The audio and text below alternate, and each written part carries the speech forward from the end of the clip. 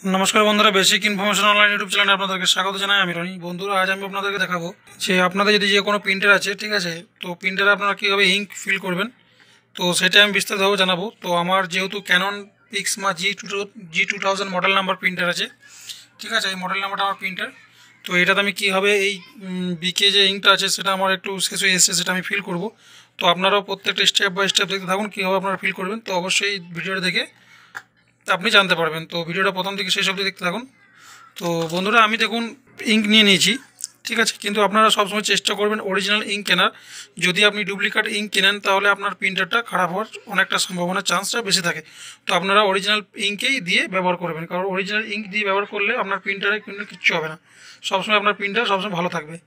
তো বন্ধুরা, দেখুন প্রিন্টারটা আমার এখানে আমি, যেটা আমি সেট আপটা লাগিয়ে রেখেছি, তো আমি ইঙ্কটা ডালার জন্য, তো আমি প্রথমত এটা ওপেন করলাম।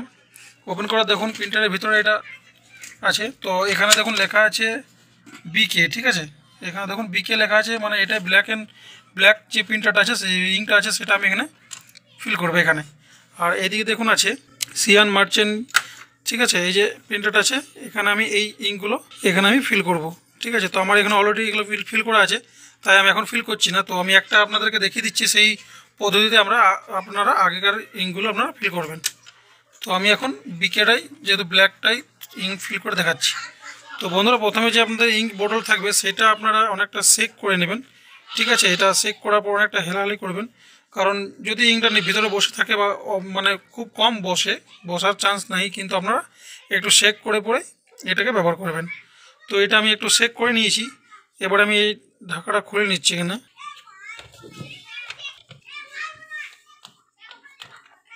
ঠিক আছে, আমি ঢাকাটা খুলে নিলাম। খোলার পর দেখুন, এখানে এই যে বিকে এটা আমি ওপেন করলাম। এবার এই রাবারটা আস্তে করে আপনি এখানে ওপেন করবেন ওপেন করে সাইড করবেন। তাহলে আপনার ইঙ্কের যে এন্টারটা আছে, সেটা আপনি পেয়ে যাবেন বোতলের রাখা ঠিক আছে? এখানে আপনি এই যে ইঙ্কটা আমি নিয়েছি, এই ইঙ্কটা এই মুখটাকে আমি এখানে ঢুকিয়ে উল্টি দেবো, ঠিক আছে? তো এইভাবে, আমি যেভাবে করছি আপনারা সেইভাবে করতে দেবেন তো দেখুন, আমি এইভাবে উল্টে দিলাম এখানে, ঠিক আছে? উল্টানোর পরে একটু করে প্রেস করছি আমি, হালকা করে চাপ দিচ্ছি বোতলটার উপরে। দেখুন আমার ইঙ্কটা ফিল হতে শুরু হয়ে গেছে। তো দেখুন আমি ইঙ্কটা ফিল হচ্ছে এবং আমি বাইরে দেখতে পাচ্ছি যে আমার ইঙ্কটা কতটা মানে ফুল হয়েছে না হয়নি। ঠিক আছে, যতটা আমার দরকার, প্রয়োজন, ততটাই আমি এখানে ফিল করছি। তো যাই হোক, এই অ্যারোডটা পর্যন্ত আমার চলে এসছে। ফুল কখনো ভরবে না, ঠিক আছে? কিন্তু কিছুটা ফাঁকা রাখবেন। যেহেতু একটা অ্যারোড দেওয়া আছে, সেই অ্যারোডটা পর্যন্ত আপনি একটু গ্যাপ রাখবেন, ঠিক আছে? ইং সময় এটা আপনি মনে রাখবেন ইঙ্কটা মানে ভরার সময়। তো দেখুন, এই যে অ্যারোডটা আছে, এই অ্যারোডটা এতটা পর্যন্ত আমি ফিল করলাম। ফিল করার পর এবার এই যে রাবারটা আছে, এটা আমি আস্তে করে এখানে লাগিয়ে দিলাম, ঠিক আছে?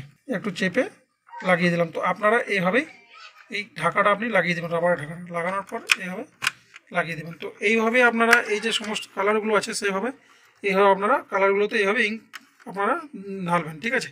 এ ওপেন করে, আস্তে করে ওপেন করে ঢেলে নেবেন। তারপর ঢালার পর আপনি প্রিন্টারটা এইভাবে লাগিয়ে দেবেন, ঠিক আছে? আপনি দেখে নেবেন সব জায়গায় ঠিকঠাক লেগেছে কিনা, কোনো জায়গায় বাদ পড়েনি, ঠিক আছে, সব ঠিক আছে। এবার আপনি প্রিন্টারটাকে স্টার্ট করবেন। এবং প্রিন্টারটা স্টার্ট হওয়ার পর একটু সেট নেবে, ঠিক আছে? সেট নেওয়ার পর আপনি এটাকে এবারে জেরক্স বা যে কোনো প্রিন্ট আপনি করতে পারবেন। তো বন্ধুরা, আশা করি ভিডিওটা ভালো লেগেছে, তো অবশ্যই চ্যানেলটিকে সাবস্ক্রাইব করবেন পাশে থাকা নোটিফিকেশন বেল আইকনটি প্রেস করে নোটিফিকেশন অল করে নেবেন। আমার যে কোনো আপডেট আপনারা সর্বপ্রথম পেয়ে যাবেন। ধন্যবাদ বন্ধুরা।